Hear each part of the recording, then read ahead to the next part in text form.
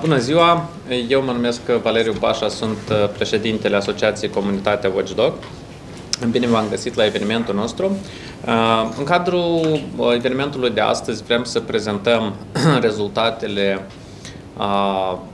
unor studii care și-au propus să monitorizeze felul în care sunt reflectate evenimentele internaționale în presa TV din Republica Moldova, Astăzi vom prezenta trei materiale, unul mai amplu și două studii de caz. Toate trei au fost realizate pe baza monitorizărilor știrilor TV în, la sfârșitul lunii octombrie și pe parcursul lunii noiembrie. Deci vorbim despre o perioadă de 5 săptămâni. Toate aceste analize sunt realizate în cadrul proiectului Strengthening the Independence Media Reporting Quality and Capacity, susținut de National Endowment for Democracy, implementat de comunitatea Watchdog. În cadrul acestui proiect ne-am propus să contribuim la îmbunătățirea felului în care mass media TV din Republica Moldova informează cetățenii despre ce se întâmplă în lume Uh, și în mod special uh, o să atragem atenția la felul în care mass media ajută sau nu ajută cetățenii să se apere de dezinformare și propagandă. Deci, uh, așa cum am spus, această monitorizare a fost realizată în perioada 23 octombrie 1 decembrie. Am ales 8 posturi TV care sunt conform barometrului de opinie publică din luna noiembrie Uh, cele mai uh, vizionate în calitate de sursă de știri, sursă de informație. Uh, o să prezentăm lista. Deci am luat 5 zile pe săptămână, pentru că este un volum foarte mare. Ca să înțelegeți, deci în această monitorizare au fost incluse peste 300 de buletine de știri, respectiv vorbim despre în jur de 5.000 de știri care au fost monitorizate, sistematizată informația de colegii mei, vedeți alături, deci este un volum de, de muncă foarte mare să încercăm să înțelegem. Am identificat mențiunile, deci știrile sunt de diferită complexitate, poate fi o știre lungă, poate fi o mențiune în cadrul unei știri care se referă mai curând la actualitatea internă, deci variația e foarte mare, dar am încercat să le facem evidența la toate și totodată să urmărim în ce măsură sau ce fel de percepție uh, spectatorilor creează aceste mențiuni, fie că, de ceea ce numitul context, dacă este pozitiv, neutru sau negativ de fiecare dată. Uh, un pic despre uh, metodologie, deci pe lângă numărarea mențiunilor, am încercat să dăm și o anumită pondere în dependență de cât e de popular, dacă putem să ne exprimăm astfel, uh, postul TV, Uh, la fel, în baza barometrului opiniei publice, vedeți aici ponderea, da, care este uh, topul a 8 televiziuni pe care respondenții le numesc uh, drept cele mai importante surse de informare. Eu știu că pot apărea întrebări privind discrepanțele cu măsurătorii de audiență pe care multe televiziuni le urmăresc mă rog, întrebați pe ei, noi ne bazăm uh, pe o metodologie care am elaborat încă în 2018, atunci când am făcut un studiu asemănător uh, și în baza lui am ajuns la anumite concluzii. Scopul nostru principal acum a fost să vedem cum s-a schimbat situația. Deci astea sunt ponderile, în esență, ca să înțelegeți cum se face, dacă, de exemplu, uh, un stat este menționat într-o știre la Jurnal TV, atunci această mențiune va fi punctată cu 0,28 de puncte.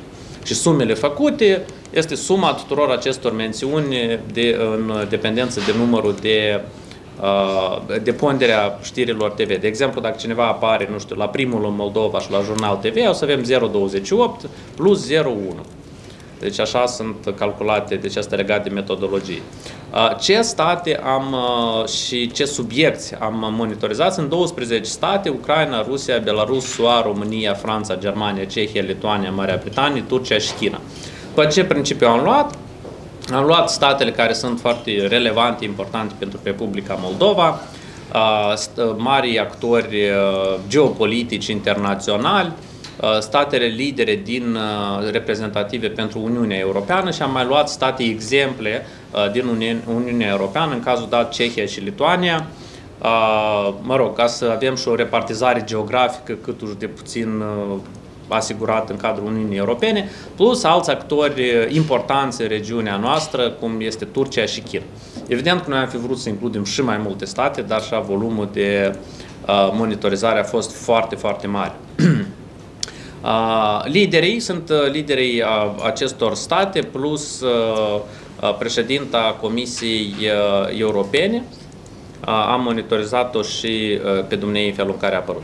Plus trei organizații internaționale, la fel relevante pentru Republica Moldova, este Uniunea Europeană, Alianța Tratatului Nord, Atlanticului de Nord, NATO, și Organizația pentru Securitate Colectivă. Am mai inclus și Uniunea Euroasiatică, dar nu prea a apărut o știri, deci nu prea avem ce să raportăm aici.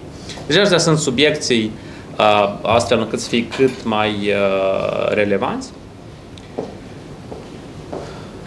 Câte ceva despre imaginea de ansamblu. Deci cele mai multe știri au apărut despre Rusia și Ucraina.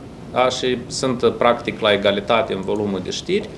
Dacă ne referim la liderii acestor state, uh, știri în care este menționat președintele Ucrainei uh, Volodymyr Zelensky uh, sunt ceva mai multe decât știri despre Vladimir Putin. Și apoi urmează Uniunea Europeană, pe locul 3, dacă am adăugat și statele membre a Uniunii Europene, atunci vedem că, în general, prezența informației despre UE și statele membre este destul de mare, deci se apropie Uh, la numărul de mențiuni despre Rusia și Ucraina, ceea ce este bine, având în vedere contextul, pentru că o mare parte din știrile externe, în mod absolut evident, vizează uh, desfășurarea agresiunii Federației Ruse împotriva Ucrainei. Uh, și uh, din start vedeți uh, aici în această imagine de ansamblu și contextul în care apar acești actori monitorizați. Vedem de exemplu că marea majoritate a știrilor sau ponderii știrilor despre uh, Rusia și despre Vladimir Putin sunt în context negativ. Un lucru care este absolut explicabil având în vedere agresiunea. Uh, în paralel, știrile despre Ucraina, Uniunea Europeană, România, SUA, președintele Ucrainei, Mar, mar, majoritatea acestora sunt fie în context pozitiv, fie în context neutru. La fel e explicabil având în vedere contextul și evenimentele internaționale. Dar aceasta este imaginea de ansamblu. Un alt aspect foarte important privind imaginea de ansamblu este influența sau ponderea celor mai vizionate posturi TV în formarea opiniei publice. Din nou, imaginea nu este exhaustivă, noi am inclus doar 8 posturi TV la acea etapă, Uh, vedem că uh, punând la un loc uh, popularitatea și numărul de știri, pe primul loc este postul Pro TV Chișinău, pe locul 2, la o distanță nu foarte mare, este Jurnal TV, care este urmat de Prime, Moldova 1, TV8 și la polul opus, deci RTR și mai puțin în TV și Primul Moldova. Ce înseamnă asta? Deci aici este un indicator combinat care cuprinde atât numărul de știri externe, da? deci volumul de timp acordat reflectării știrilor internaționale de către aceste posturi TV, dar și ce popularitate sau ce audiență au aceste posturi. Vedem că dacă o să comparăm cu acest slide, în cazul dat nu există proporțional. De exemplu, vedem că ProTV în acel rating are o audiență ceva mai mică decât Jurnal TV. Dar au mai multe știri și din contul ăsta au aici o pondere mai mare. Însă ce este cel mai important în acest uh, slide? Uh, de exemplu, analiza similară efectuată în anul 2000, mă rog, pentru perioada tot lunii noiembrie 2017, 5 ani în urmă, arăta că două treimi din uh, ponderea știrilor despre subiecte internaționale în Republica Moldova era asigurată de posturile TV uh, de stat sau controlate de Federația Rusă. Adică, ca să înțelegeți, deci două treimi din volumul informațiilor care intrau sau ieșeau din ecranele privitorilor moldoveni uh, despre ce se întâmplă în lume, erau formatate la Kremlin și respectiv aveau și uh, narațiunile respective propagandistice. Astăzi, uh, nu va fi exagerat, spunem că anume posturile TV independente sunt cele mai uh, influente în informarea cetățenilor despre ce se întâmplă în lume. Posturi TV deținute direct sau care retransmit direct știrile produse în Moscova nu sunt. Deci ele au renunțat la această retransmisiune încă începând cu data de 24 februarie 2022. Însă sunt, este un grup de trei posturi TV aici, care, așa sau altfel, preia anumite narațiuni într-un mod un pic mai subtil a propagandei ruse. Însă, importanța lor, vedeți, sunt sub 20%. Comparați cu 66% în 2017, o să vedem că este o diferență uh, copleșitoare. Dacă ne referim la, din nou, deși avem aici un grafic, pentru a fi un pic mai clar despre ce uh, poți ve- să vezi ceva la televizor, jumătate, peste jumătate din știri sunt despre Rusia și Ucraina, adică despre uh, conflictul uh, declanșat de Federația Rusă. Uh, ceea ce, din nou, este, cred eu, uh, absolut firesc. Uh, însă o să vedem că aceste proporții nu sunt similare la toate posturile uh, TV. Uh, urmează uh, informații despre SUA, uh, România, de fapt pe locul 3 și aici este Uniunea Europeană și apoi urmează SUA și România. Dacă însă să vedem în ce măsură aceste schimbări structurale pe piața media TV influențează opinia publică, și cum formează imaginea actorilor internaționali, vedem că aici există o discrepanță puternică, lucru pe care nu-l atestam în anul 2018, dacă am analizat datele fapt, în noiembrie 2017. Acolo, la fel, am comparat rezultatele celui mai recent barometru de opinie publică și felul în care sunt reflectați acești lideri politici. Deci vedem că aici Ponderea știrilor negative despre Vladimir Putin, de exemplu, este net, da? deci sunt mult mai multe știri negative decât pozitive în spațiul informațional. Cu toate acestea, anti-ratingul lui în Republica Moldova este 24%. În contrast, știri pozitive despre uh, Volodymyr Zelensky, despre Joe Biden, da? deci vedem ponderi pozitive, la fel ca și într-o măsură mai mică la Klaus Iohannis, Emmanuel Macron, adică toți liderii internaționali relevanți, în afară de Vladimir Putin, sunt reflectați preponderent pozitiv sau mai mult pozitiv decât negativ. Însă toți au anti-rating și, în mod paradoxal, Vladimir Putin nu este deloc uh, campion la acest capitol. Uh, cine poate spune asta? Deci sunt câteva cauze posibile. În primul rând, uh, este uh, faptul că va dura, uh, va dura până când va fi Uh, să zicem așa, eradicat efectul multianual al propagandei ruse care a dominat mult timp anume aceste subiecte internaționale în spațiul media de la noi.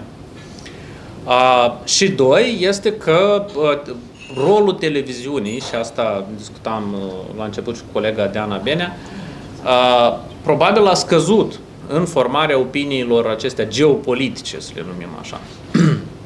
Plus, să nu uităm că uh, dezinformarea în mediul online uh, nu a dispărut nicăieri, influența acesteia crește, vedem în sondaje, la fel cum internetul uh, a luat primul loc ca sursă principală de informare pentru cetățenii moldoveni. Deși mulți se uită și la TV, se informează și de, de pe internet. Adică influența televiziunii în acest sens a scăzut, plus nu trebuie să comparăm efectele de convingere a conținutului media propagandistic, care este puternic persuasiv, făcut de televiziunile de stat ruse, cu informarea în mare măsură onestă și corectă pe care o fac televiziunile din Republica Moldova. Deci, televiziunile noastre nu fac propagandă, ele informează. Cele fac propagandă și, evident, efectul de convingere este mai mare. Respectiv, mai este mult, mult de lucru. Uh, am, uh, o, o să mergem pe câteva categorii de state și actori. În mod separat am luat cumva ceea ce numește lumea rusă, da, unde am uh, trecut uh, actori relevanți cum este Rusia, Belarus, uh, președinția acestor țări, uh, Uniunea Euroasiatică, care vedeți atât zero mențiuni, Organizația Tratatului Securității Colective, ODKB, la fel nu a apărut în știri. Și am făcut un fel de ponder general. Deci, în general, din contul uh, evident al uh, agresiunii uh, militare a Federației Ruse, tot ce se numește lume rusă a fost prezentat într-un context puternic negativ la știri, însă, dacă o să ne uităm pe posturi TV, o să vedem că sunt un grup de posturi care în realitățile existente au depus un anumit efort și au găsit totuși știri pozitive despre Rusia, despre Putin. Da, este suficient să vedem aici. Uh, și ce este foarte uh, important să, re, să remarcăm aici, pentru că uh, noi avem acest indicator, nivelul de încredere în Vladimir Putin în Moldova. Deci, inclusiv eu îl analizez pe parcursul anilor, mulți colegi, deci toată lumea se miră. Ei, păi să știți că în absoluta majoritate a știrilor, atât este suficient să vedem, da, deci Rusia a fost menționată de șase ori mai mult, uh, iar în context negativ de peste 10 ori, de 12 ori mai mult, decât uh, Vladimir Putin. Adică se vorbește despre agresiunea Rusiei, însă despre uh, rolul uh, liderului rus în această agresiune, în crimele de război care se fac, se menționează în cel mai bun caz, uh, într-un caz din 10. Așa că să nu vă mirați că la un moment dat imaginea Federației Rusă o să fie negativă, dar pe Putin moldovenii în continuare o să-l consideră un lider bun. Deci asta contează, aspectele contează, detaliile contează. Un lucru cred că e important de conștientizat și pentru a, mass media. Aici o chestie a, separată, deci am, am luat cumva să comparăm a, câte ori a apărut Rusia și Vladimir Putin în context negativ sau ponderea între posturile TV și vedem că aici primatul are la fel Pro TV, urmat la mică distanță Jurnal TV, iar știri negative despre, sau ponderea în știri negative uh, a celor trei posturi TV, TV, RTR, Primul Moldova, uh, este de uh, deci, mai puțin 10, 8%, 8%, în jur de 8%. În schimb, ponderea acestor posturi TV în știrile pozitive despre Rusia și Vladimir Putin este de vreo 65%. Da? Iată așa mici cum sunt ele, cu audiență nu foarte mari, Asta ca să uh, înțelegem dacă există o repartizare cumva proporțională a acestor informații uh, care intră în probabilitatea matematică între posturile TV sau totuși există anumite predilecții uh, și politici editoriale conștiente. Uh, concluzie privind redarea Ucrainei. Aici lucrurile sunt la fel foarte clare. Marea majoritate a știrilor uh, apar în context pozitiv. Uh, Există loc de dezbatere pentru că, în general, uh, conținutul știrilor trezește empatie pentru poporul ucrainian și pentru statul ucrainean, însă nu neapărat, din punctul nostru de vedere, contribuie la formarea unei opinii pozitive.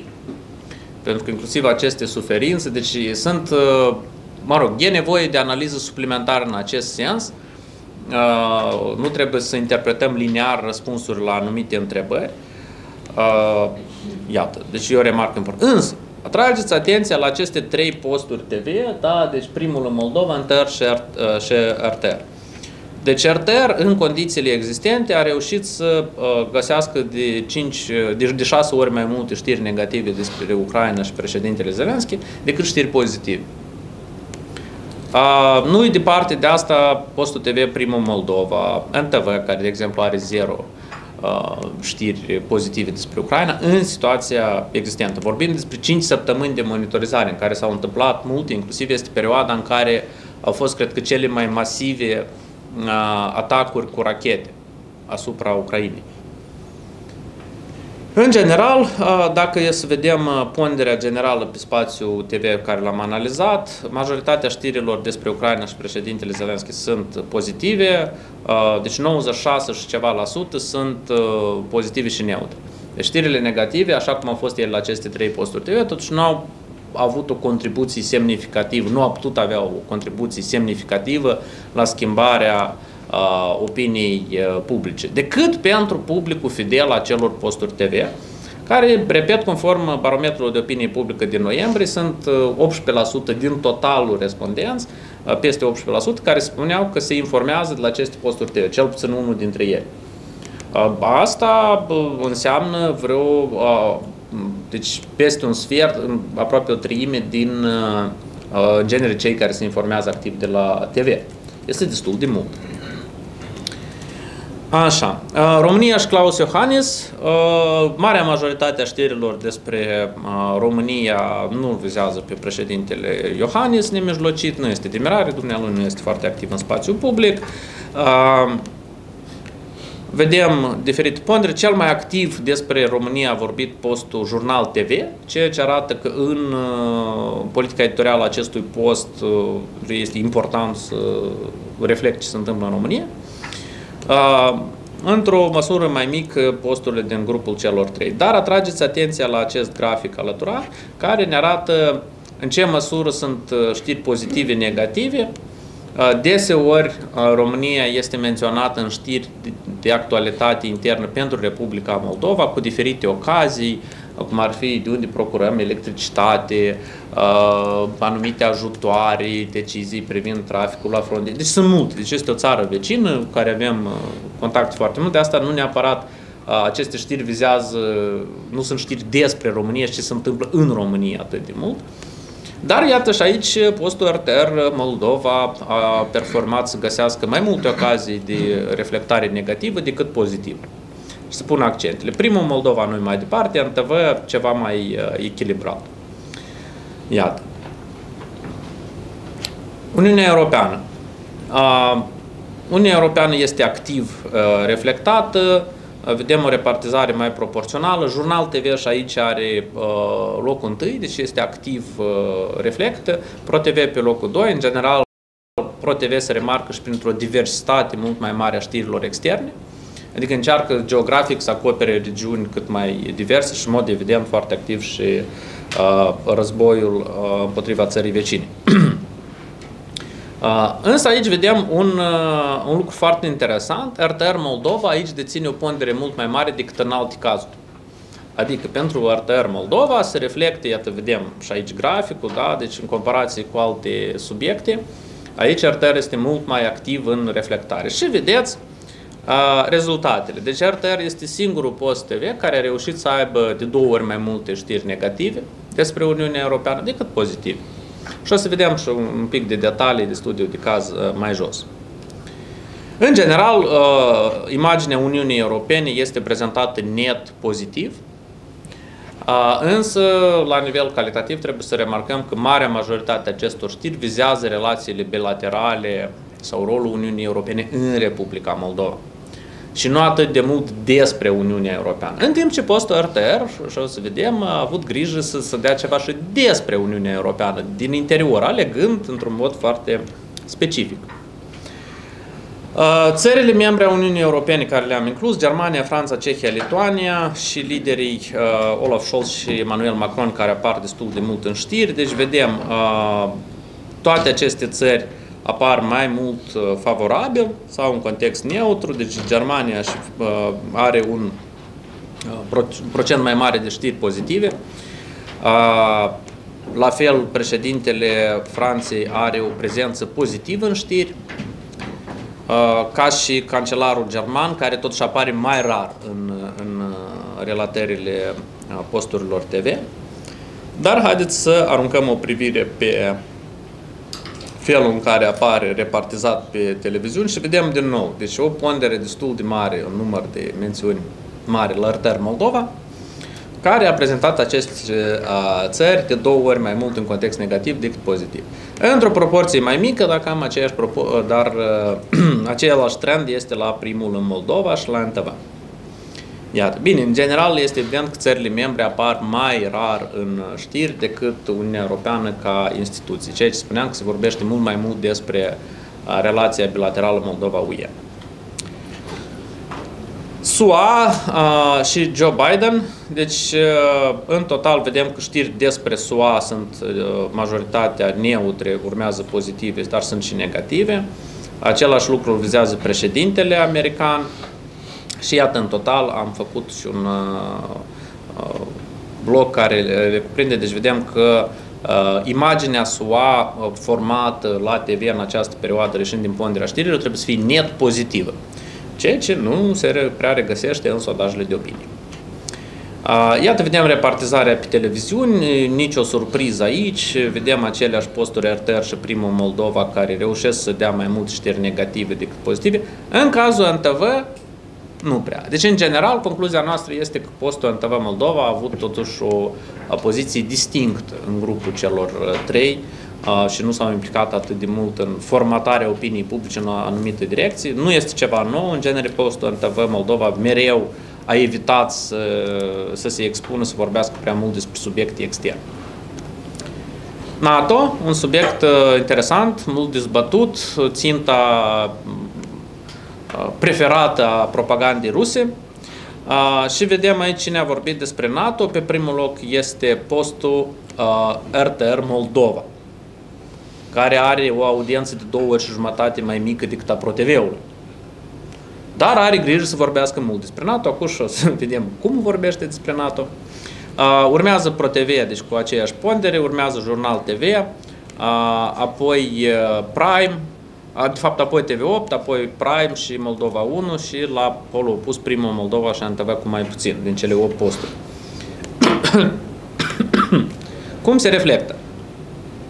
Uh, primul Moldova de 0 știri pozitive, și dar găsește câteva negative. RTR de uh, o pondere de 9 la 1 în favoarea știrilor negative, dar există și un număr mare de știri neutre, mențiuni în context neutru.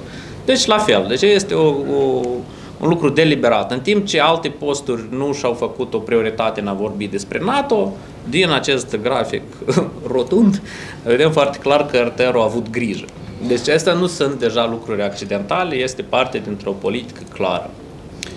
Uh, am încercat să punem împreună toți actorii uh, generic occidentali, UE, NATO, țările membre, liderii uh, și vedem cum sunt prezentați la, în diferite post, la diferite posturi TV. Uh,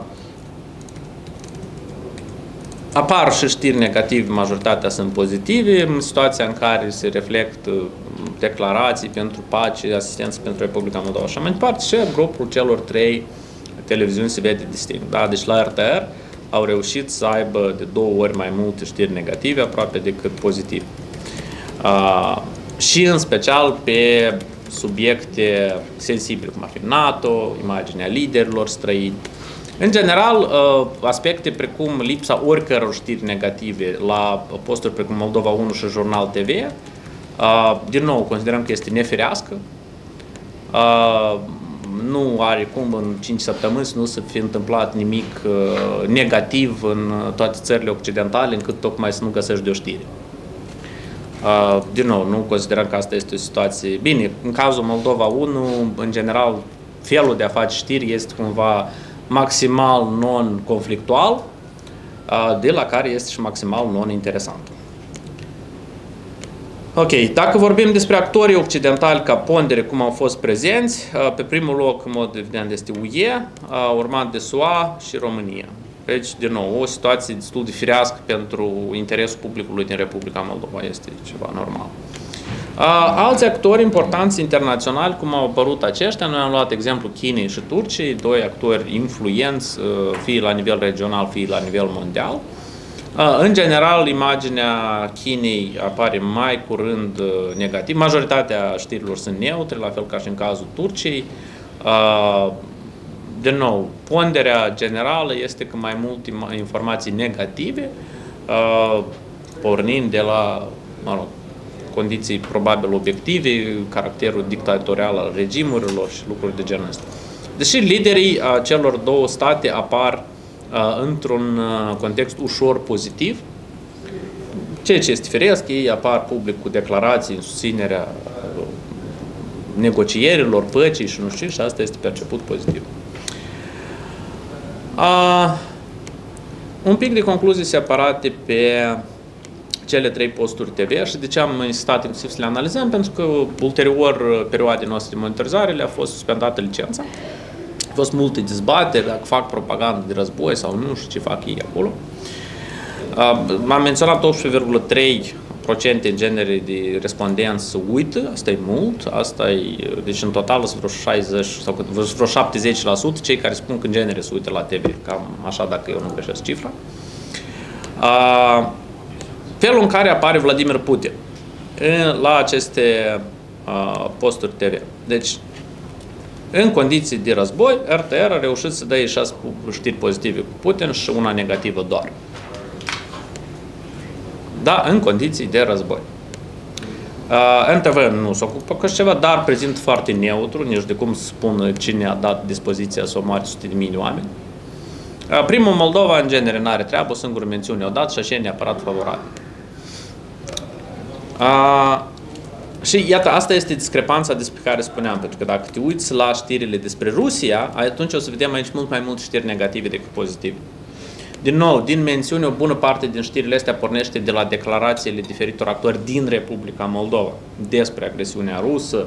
Deci aici nu are cum să apară. Așa sau altfel, oricum apar destul de mult în context uh, pozitiv. Ucraina, la cele trei posturi TV. Din nou, în condițiile agresiunii, în condițiile în care Ucraina este uh, victimă, ei reușesc de unde scoată să mai adauge imagine negative. Trebuie să spunem că, per general, televiziunile au format o imagine pozitivă pentru Ucraina, însă aceste trei posturi TV care au un public uh, loial dedicat al lor, uh, public semnificativ, mai curând au uh, neglijat subiectele internaționale și uh, desfășurarea războiului în sine, dar au avut grijă să mai adauge așa subtil și elemente de genul ăsta.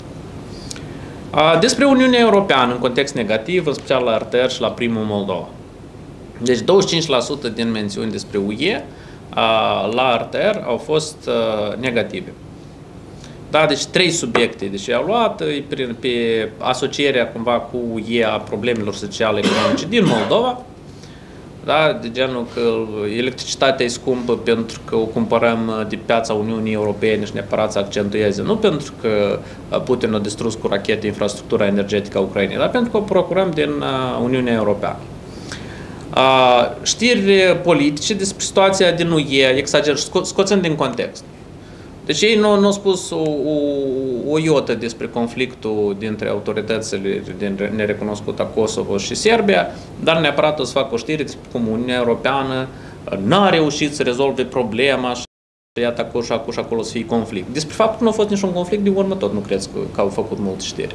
Da? Sau despre faptul că ulterior, de fapt, conflictul cu ajutorul Uniunii Europene a fost uh, uh, cumva dezamorsat și iată, exemple din astea sunt multe. Sau despre că, iată, război comercial între SUA și uh, Uniunea Europeană. A scris cineva un articol de opinie în Politico și ăștia neapărat au făcut din asta dita mai știri, au mai preluat niște declarații de la Maria Zaharova.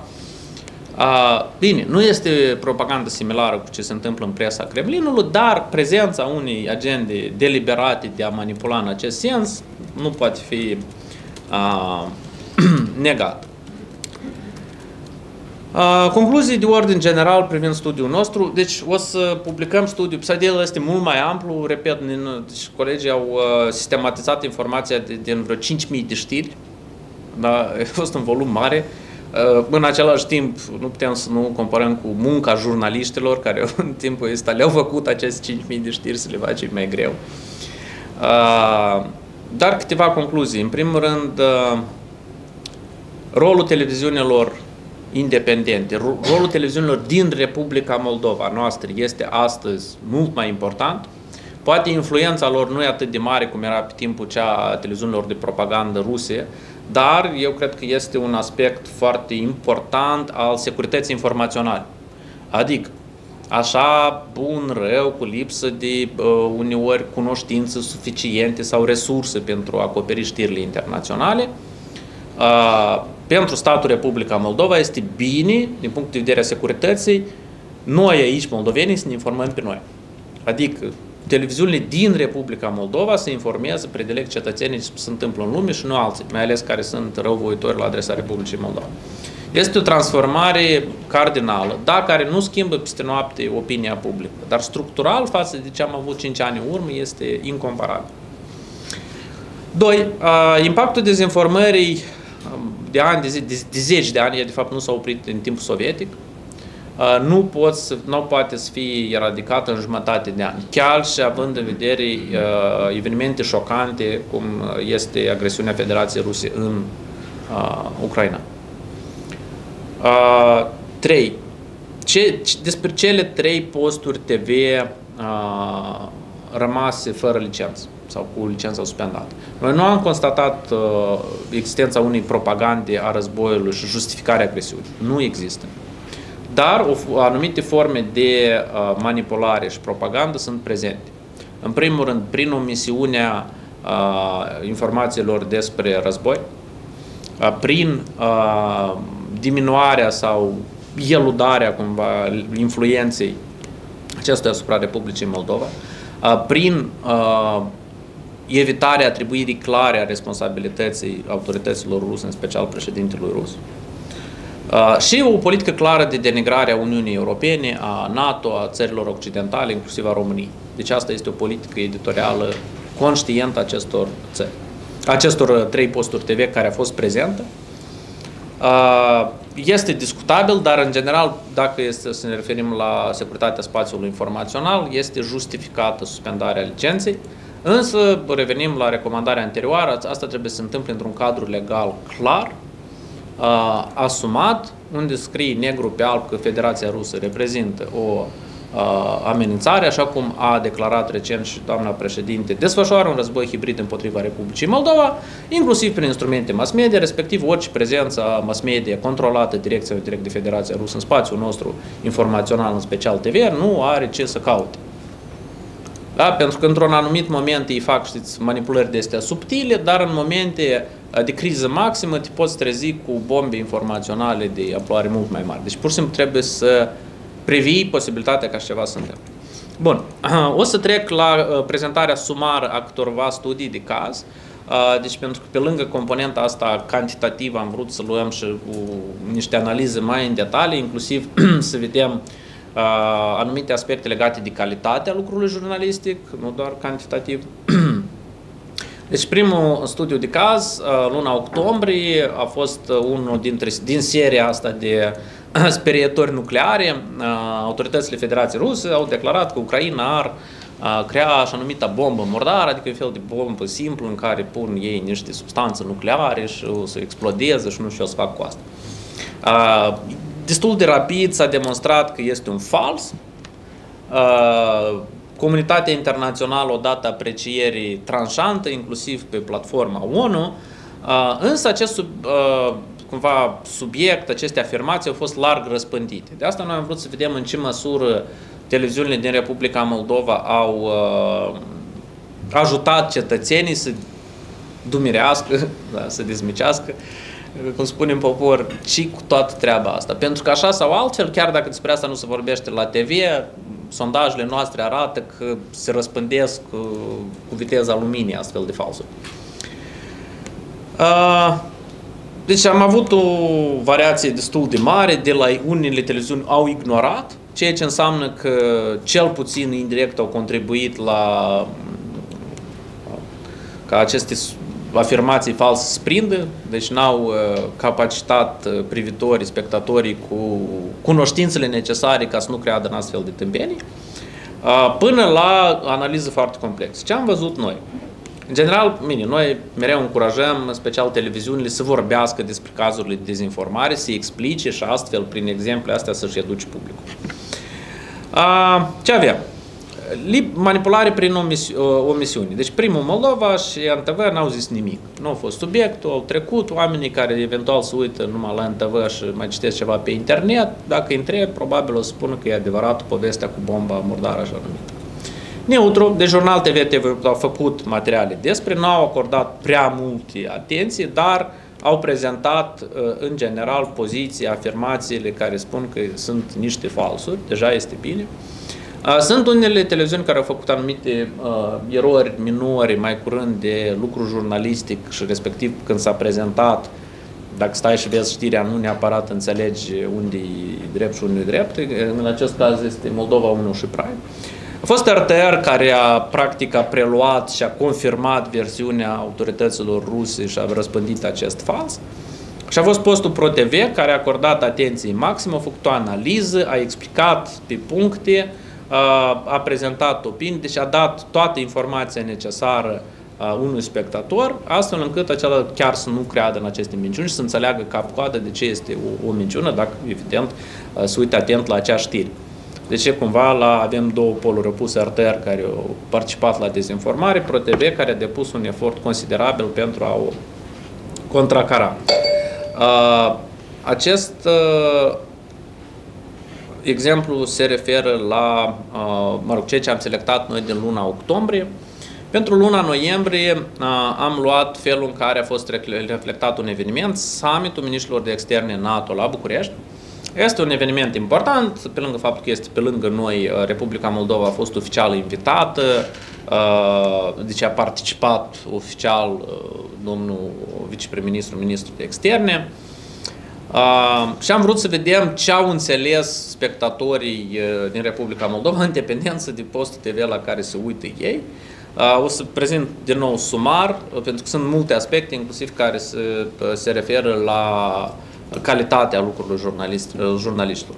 Uh, începem cu numărul de știri, cele mai multe știri a dat uh, Jurnal TV, urmat de Moldova 1, TV8 și la fel în descreștere. Deci, dar toate posturile TV, cel puțin o știre despre asta au dat, deja înainte. Da, cel puțin nu sunt oameni care se uită la unul din astea 8 posturi și nici habar n-au că este ceva acolo uh, la București și noi participăm. Uh, categoriile. Uh, hai să o luăm de la, de la un capăt mai puțin pozitiv.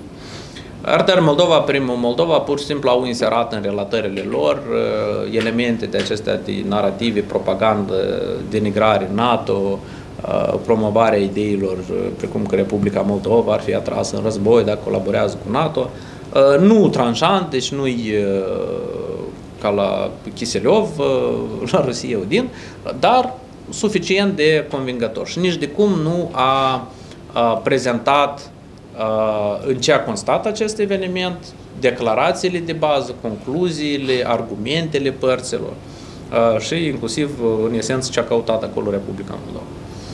Uh, o altă categorie, Moldova 1 TV8, deci au fost admise erori uh, la redactarea știrilor mai curând, deci n-am urmărit niciun fel de intenție de a dezinforma. Uh, clară, dar sunt erori în, în redactare care mm, pur și simplu scad din felul în care poate să înțeleagă omul care privește această știre ce s-a întâmplat în realitate, să înțeleagă importanța și așa mai departe. Deci calitatea documentării și prezentării știrilor lasă de dorit în acest caz. Mai multe detalii le găsiți, repet, în studiul integral care îl publicăm pe site. Sunt trei posturi TV care au uh, uh, reflectat obiectiv într-o suficient, uh, spunem, măsură, ca volum de timp, au explicat în ce constă evenimentul și ce au declarat părțile, de ce este important să știm și noi despre asta. Este ProTV, Prime și ANTV. Uh, și este Jurnal TV care a acordat chiar o, o atenție majoră acestui eveniment, au făcut și anumite live-uri uh, de acolo, deci chiar au reflectat în detalii, pe parcurs, deci au monitorizat ca un eveniment important și pentru Republica Moldova, au prezentat declarații, deci este Uh, cred că cea mai comprehensivă prezentare a acestui eveniment cu un efort major a jurnaliștilor în spate. Uh, din nou, concluziile sunt aceleași, deci vedem că cum spune, și, și din piatră scoate apă, dacă este nevoie, în special postul Arter Moldova, o să prezinte lucrurile în felul său foarte specific. Astea au fost uh, notițele cele mai importante care am ținut să le prezentăm public. Uh, noi continuăm această monitorizare și vom uh, produce rapoarte din acestea bilunare sau lunare în dependență de cât de repede procesăm datele. Uh, din nou, uh, nu trebuie să facem concluzii sau să extrapolăm concluzii, deci ceea ce am observat noi se referă la exact această perioadă sau la acele studii de caz pe care le, le-am făcut în mod special. O să vedem trendurile, o să încercăm să înțelegem mai bine, dar cred că televiziunea așa sau altfel rămâne un factor foarte important în formarea opiniei publice și noi încercăm să înțelegem, să colaborăm cel puțin cum și unde se duce. O să facem analiză pentru lunile ianuarie-februarie. În luna ianuarie am făcut un nou sondaj de opinie unde am văzut că, de exemplu, nivelul de încredere în societate în Vladimir Putin chiar a crescut puțin pe fonul, oricum, a unui număr mare de știri negative, să înțelegem ce se întâmplă, să emitem aceste concluzii public și mai departe, deja posturile de televiziune, evident, o să-și fac concluziile fiecare pentru sine, cum trebuie să informeze astfel încât să-și facă și misiunea publică de a proteja spațiul informațional al Republicii Moldova. Aici fiecare instituție mass media decide pentru sine. Slavă Domnului, nu suntem într-o țară în care o să vină organele de stat și o să dicteze oricui ce politică editorială să aibă și ce este bine sau rău în, în acest sens. Bun, dacă aveți întrebări sau comentarii, vă rugăm. Unicul lucru, o să vă rugăm să vorbiți tare, pentru că avem un singur microfon pentru transmisiune.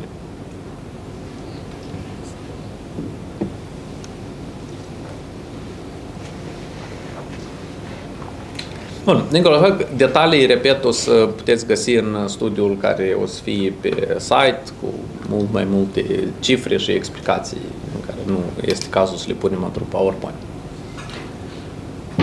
Ok, dacă nu sunt întrebări, poate uh, este cu noi colega Diana Benea uh, prin Zoom uh, și ar vrea să spună, pentru că Diana nemijlocit s-a ocupat de realizarea celor două studii de caz și fiind un jurnalist cu experiență multilaterală și, și lungă și bună, încearcă să ajute reporterii de știri externe și redactorii de știri externe de la câteva posturi TV prin sfaturi cum să îmbunătățească calitatea reflectării subiectelor internaționale. Sunt și alt tipuri de rapoarte pe care le transmitem direct, punctual, jurnaliștilor și sperăm că îi ajută mult.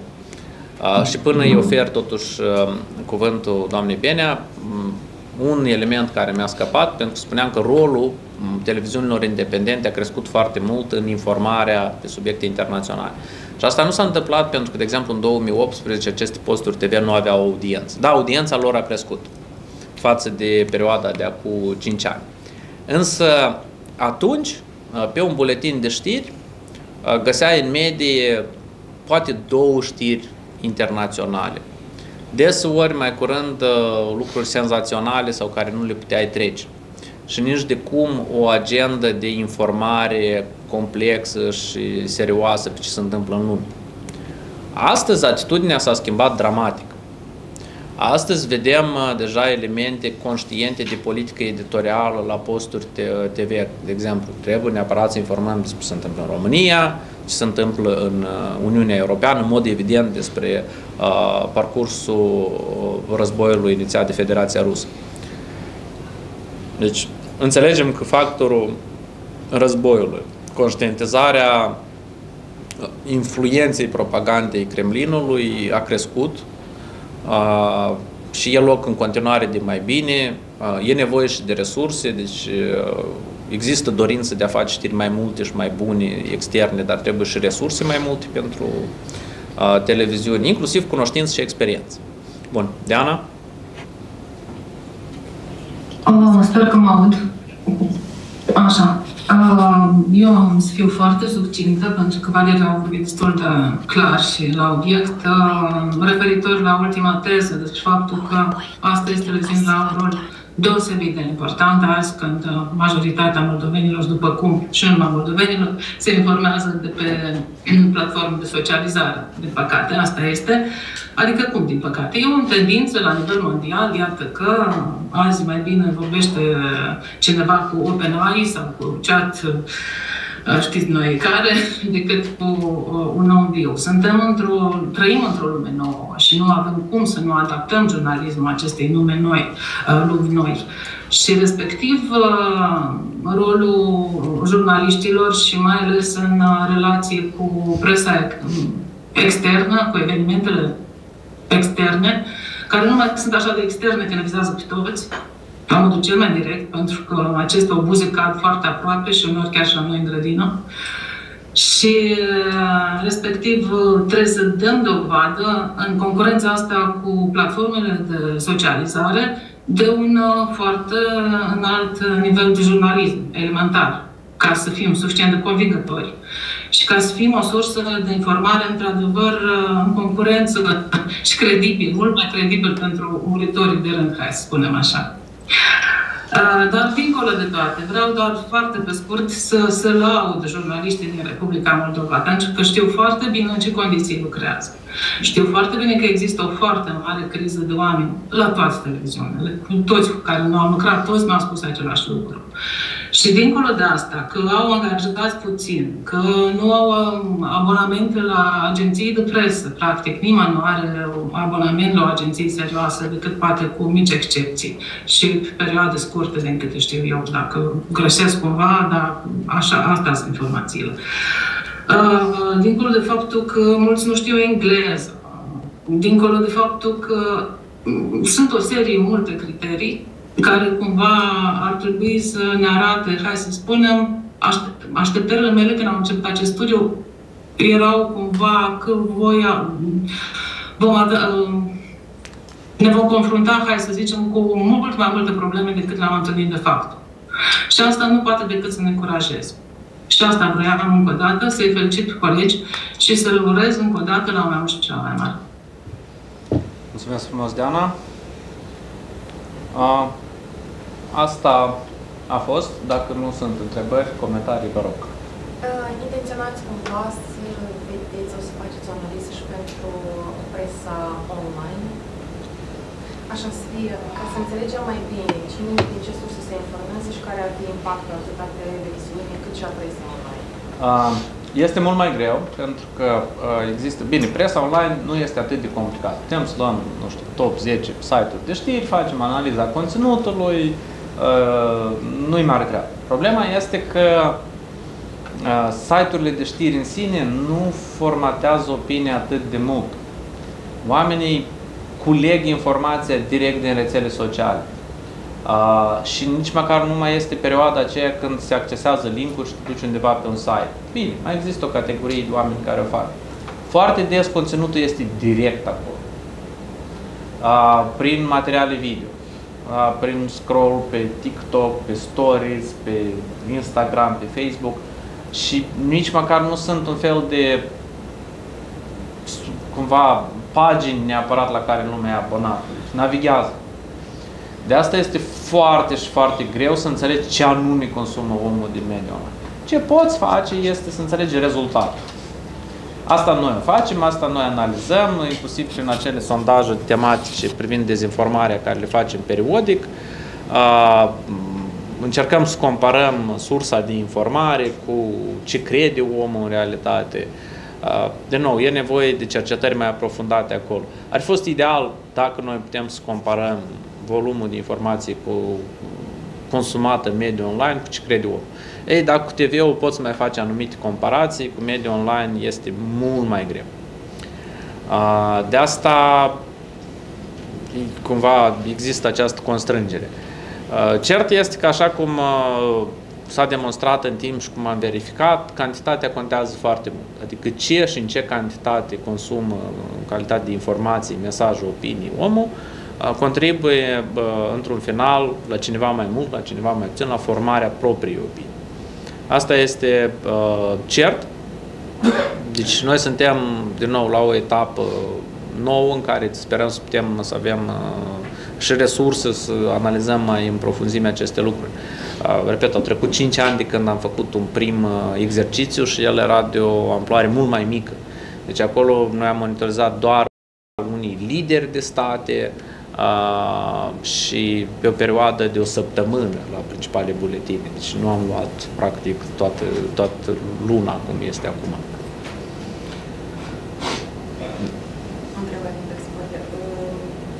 Dacă aveți cumva posibilitatea să reflectați pe viitor ce se întâmplă și ce mass media, înțelegem cu toții ce mass media consumă în regiunea transnistreană, dar dacă există ceva, vreo cotiță, nu știu, Există posibilități. Colegii au realizat uh, și sondaje de opinii foarte calitative în regiunea transnistreană.